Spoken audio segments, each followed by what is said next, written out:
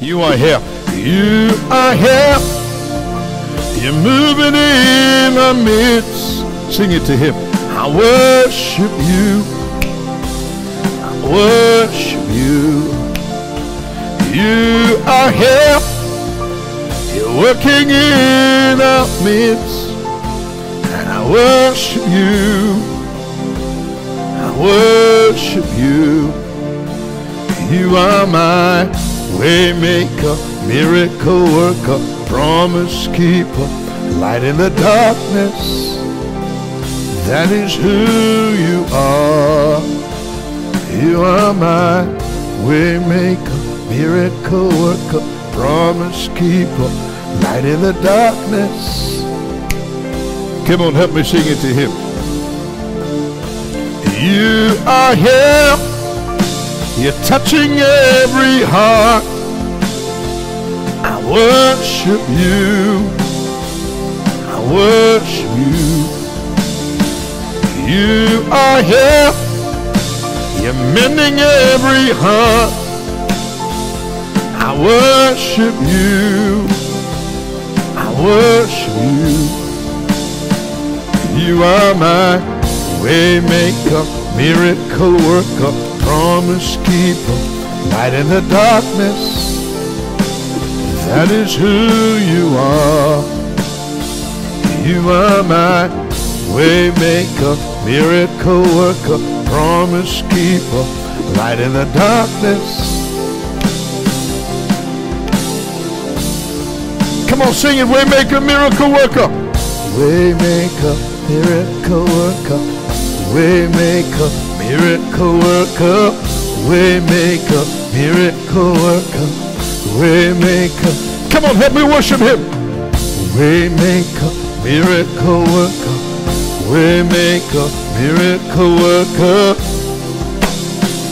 Come on and sing it. Even when I don't see it, come on. Cause even when I don't see it, you're working. Even when I don't feel it, you're working. You never stop. You never stop working. You never stop. Even when I don't see it. Even when I don't see it, you're working. Even when I don't feel it, you're working. You never stop. You never stop working. You never stop. Even, cause even when I don't see it, you're working. Come on, help me give him praise. We love you, Jesus. We give you praise. We give you glory. We give you honor this morning, Jesus. We love you, Jesus. We love you. We love you, Lord. Waymaker, we make a miracle worker. Waymaker miracle worker.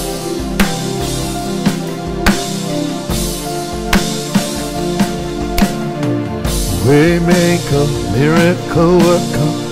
Waymaker, miracle worker. You never stop. You never stop working. You never stop. Waymaker, waymaker, miracle worker. Waymaker, miracle worker. You never stop. Father God, in the name of Jesus this morning. Me and Pastor Aimee, we join our faith together with your wonderful people. Minister the word of God to them. Lord, let them know that their trouble has your attention this morning. Minister to them. Encourage them, I pray. Lift their burdens. Answer their prayer.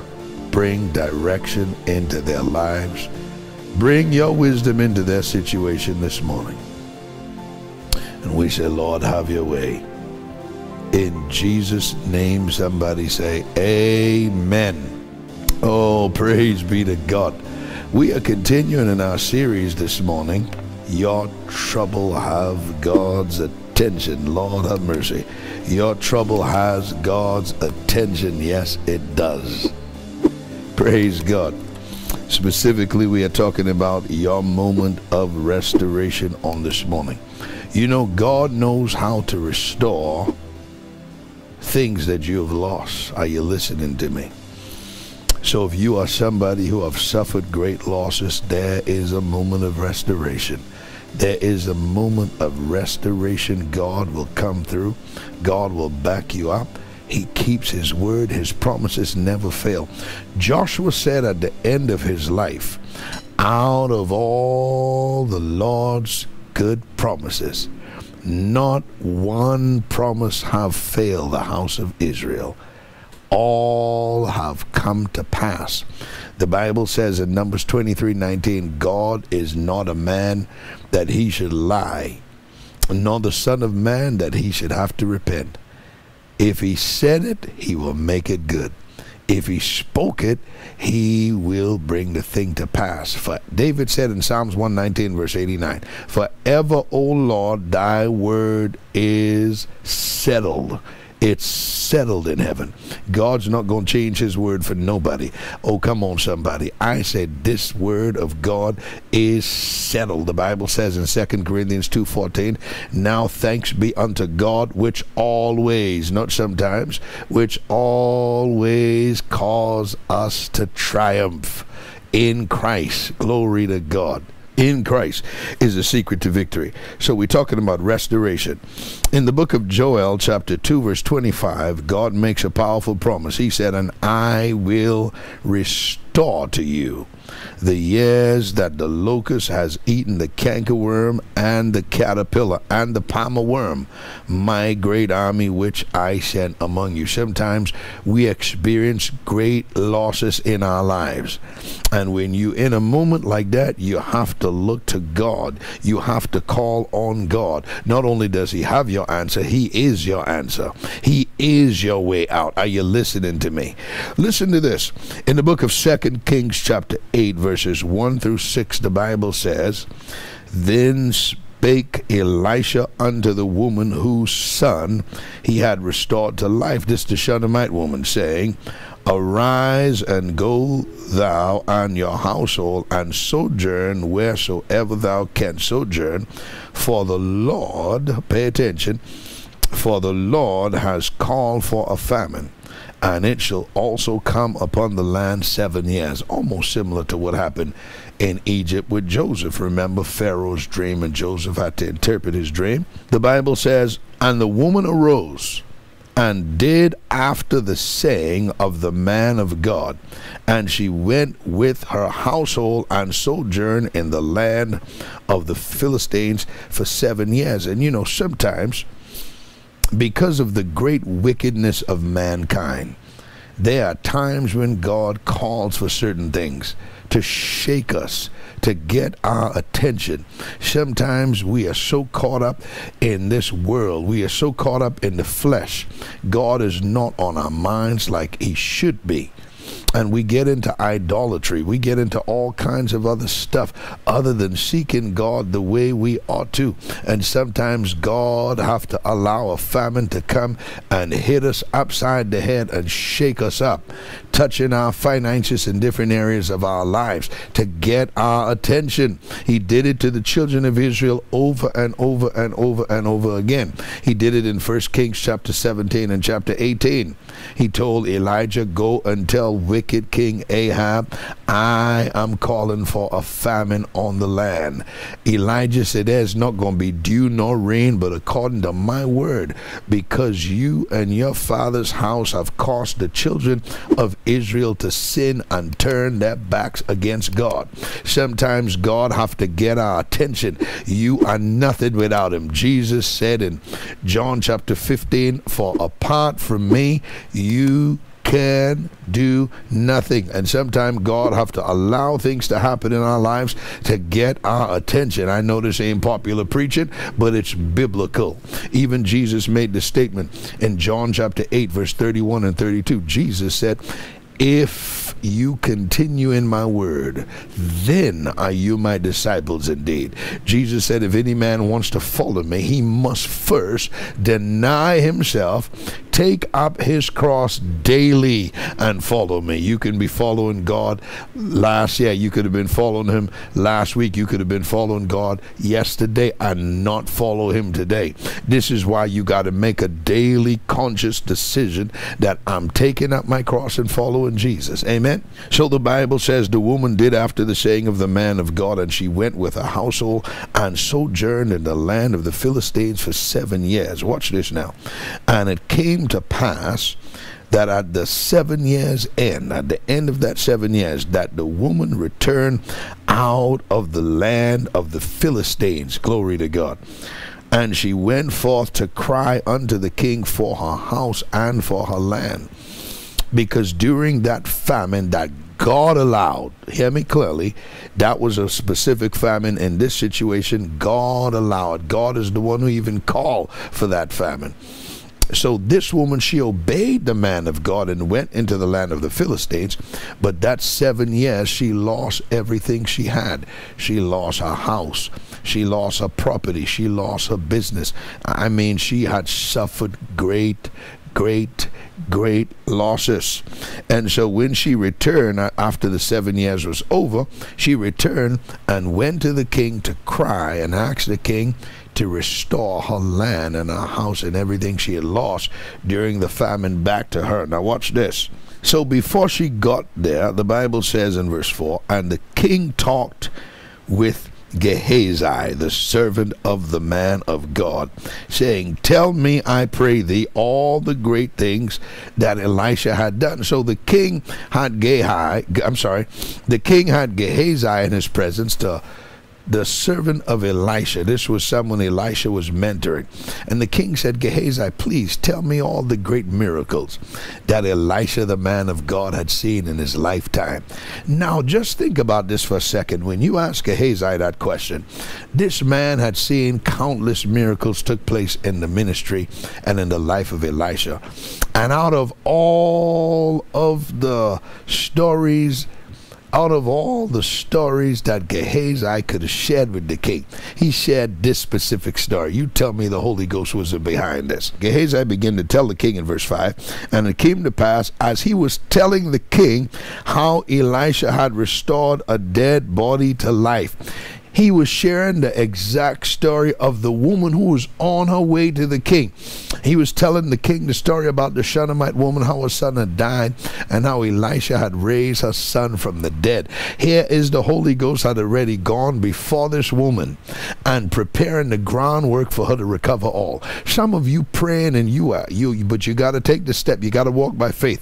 Faith without works is dead. You are on your way, believing God to work something for you. Little that you know God have already gone before you and God have already begin to work that thing out. He is setting the stage. He's laying the foundation. By the time you reach to where you are going to ask for what you're about to ask for, you will find out that God have already set you up for a miracle. Oh, blessed be the name of Jesus. And the Bible says, he was telling the king how Elisha had restored a dead body to life that the exact time, behold, the woman whose son Elisha had restored to life cried to the king for her house and for her land. And Gehazi said, My lord, O king, this is the woman, and this is her son, whom Elisha had restored to life. My God, if the king thought for a second Gehazi was making the story up, here comes this woman who had left seven years ago and lived in the land of the Philistines, just returned from the land of the Philistines, and the exact time she is ask, about to ask the king to restore her land and everything she lost back to her. That was the exact time that Gehazi was sharing the story on how Elisha had raised her dead son to life. Oh, God knows how to work it. The steps of a good man are ordered by the Lord. The timing of God, the orchestration of the Holy Ghost is amazing. It is absolute perfection. You couldn't pay somebody to arrange it this good. Verse 6 and when the king asked the woman, she told him. So the king appointed unto her a certain officer, saying, Restore all that was hers and all the fruits of the field since the day that she left the land, even until now. In other words, the value of the fruits that she would have reaped for seven years. I want you give her in dollar amount. Give her the value of the things. Restore her house. Restore her land. Restore the value. Dear God, even though she wasn't there, she got seven years worth of harvest because she was willing to obey the word of the Lord through the prophet of God. Obedience is better than sacrifice. Believe the Lord your God, so shall you be established. Believe his prophets, and so shall you prosper. I'm here to tell you, you are entering into a season of restoration. God is going to help you recover every single thing that you have lost. He is a miracle worker. Is there anything too hard for God? There is nothing too hard for God. I said, There is nothing. My God, my God. God will make a way where there seems to be no way. God will make a way where there seems to be no way. He works in ways we cannot see. He will make a way for me. He has been my guide. Hold me closely by his side. With love and strength for each new day. He will make a way. He will make a way. This is for somebody. Come on, sing it with me. God will make a way where there seems to be no way. He works in ways we cannot see. He will make a way for me. He will be my guide hold me closely by his side with love and strength for each new day. He will make a way. He will make a way. Sing it to him. God will make a way where there seems to be no way. Father God, in the name of Jesus Christ. Father, me and Pastor Aimee join our faith and we ask you in the name of Jesus, make a way for your wonderful people.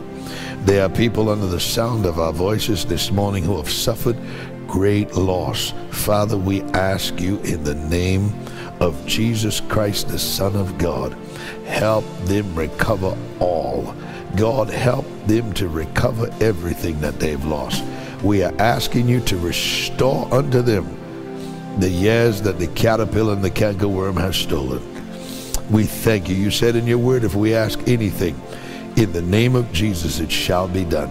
And we ask in the name of Jesus this morning. Thank you for hearing us.